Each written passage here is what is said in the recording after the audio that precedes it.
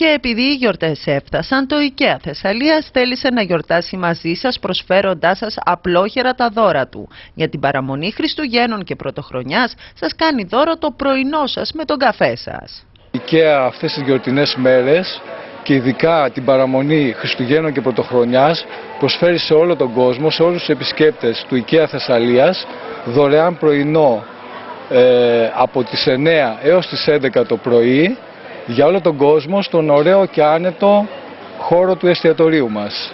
Είμαστε λίγες ημέρες πριν τα Χριστούγεννα, ημέρες που ανταλλάσσετε δώρα με τους αγαπημένους σας φίλους και συγγενείς. Χαρίστε τους πανέμορφα, στολισμένα καλάθια, γεμάτα εκλεκτά κρασιά και χριστουγεννιάτικα γλυκίσματα από το IKEA Θεσσαλίας, στις καταπληκτικές τιμές των 20,10 ευρώ και 30,75 ευρώ. Φέτος στις γιορτές το IKEA Θεσσαλίας έστησε και το δικό του ζαχαροπλαστείο και σας δείχνει τι χρειάζεται και πώς θα ετοιμάσετε τις πιο γλυκές συνταγές για τις γιορτές.